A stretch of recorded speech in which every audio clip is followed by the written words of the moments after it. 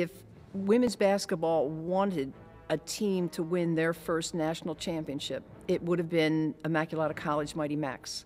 We were in a market area like Philadelphia. There was a unique story. Uh, all girls Catholic college, 500 enrollment, the crazy uniforms, and I think it jump started women's basketball. And, and we're not taking credit for today, today's success, but I think it pushed the game maybe 10 or 15 years ahead that might not have happened if a team in Iowa or Mississippi happened to win. Immaculata was the right team at the right time.